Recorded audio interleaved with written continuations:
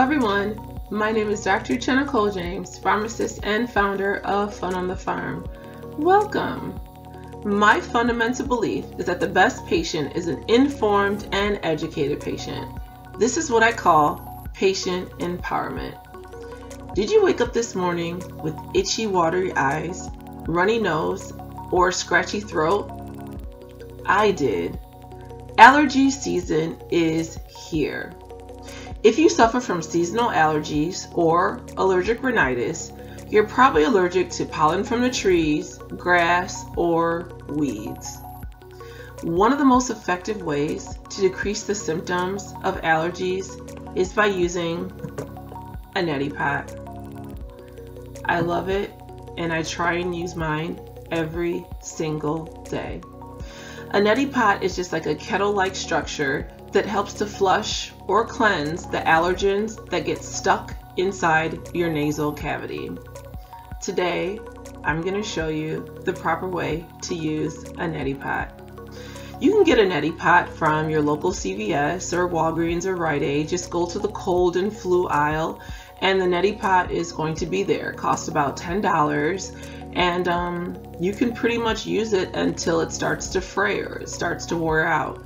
It's about um, $10, so you get a lot of bang for your buck. Inside the neti pot box, you're going to have your neti pot, and you're going to have about 50 little packets. Inside these packets, you have a salt mixture or salt powder. It's made up of sodium chloride and sodium bicarbonate. Sodium chloride is just um, salt and sodium bicarbonate is just baking soda.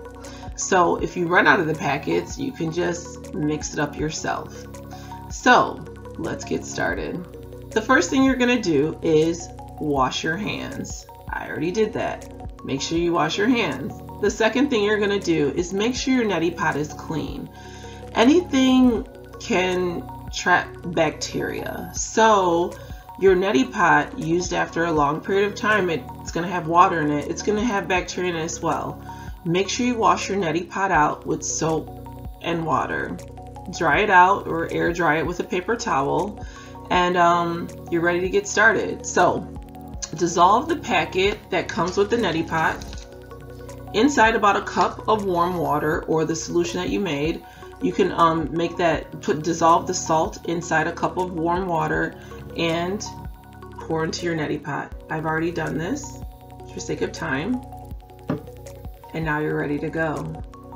So you're, you're probably going to be standing over a sink but because um, this is where I make my videos I have a bowl that I'm going to use to collect the water. It's not hard to do but it does require a little bit of technique if you've never done it before. It's going to change your life. I used to take a allergy medication every single day and sometimes I still do but it just decreased my symptoms so I'm not sneezing as much and when I wake up in the morning my nose is not as itchy and the neti pot has helped with that. So let's get started.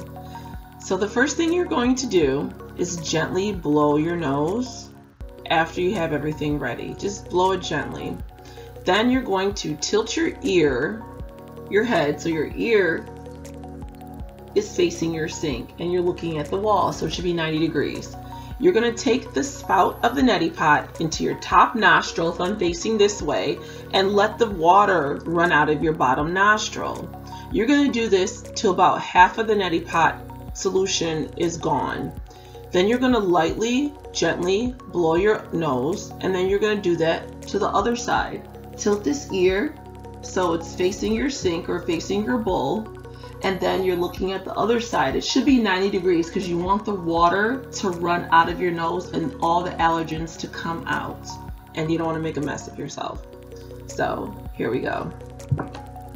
So I'm putting it, and you want to breathe out of your mouth. Do not breathe in. So I'm going to quietly do this and I'm going to show you.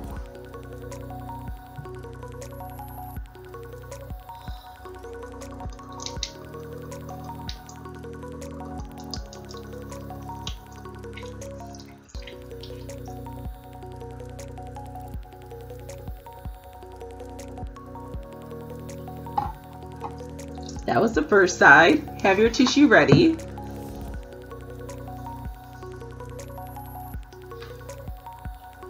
Blow gently.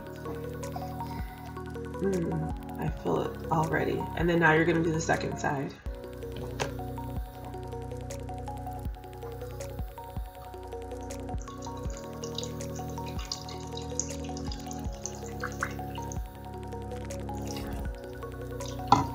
Okay, I know it looks really gross, but you're gonna love the way you feel after you're done using this neti pot. For like a week, it's gonna feel like you can decrease the use of your allergy medication. After you're done using your neti pot, wipe yourself off but don't lay down like don't do it right before you go to bed. Wait 30 minutes because sometimes you can get some post nasal drip. And don't blow your nose really hard because obviously your ears your nose everything is connected. So if you blow your nose really hard some of the water that gets trapped in here if you you know right after you're done can go into your ears. And you know that feels horrible like you just you know got off of a long flight. So um, make sure you blow your nose gently like very softly you shouldn't make any noise and then don't go to sleep for 30 minutes or don't lay down for 30 minutes after using your neti pot.